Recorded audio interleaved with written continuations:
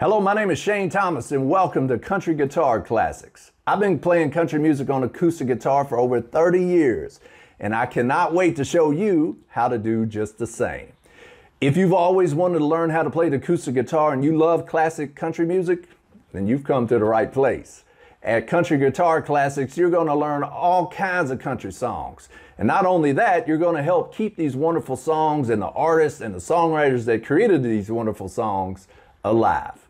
And I can't think of a more fun way to keep these songs alive than learning how to play the acoustic guitar.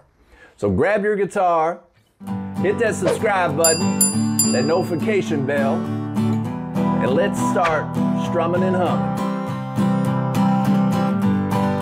I'll see you soon.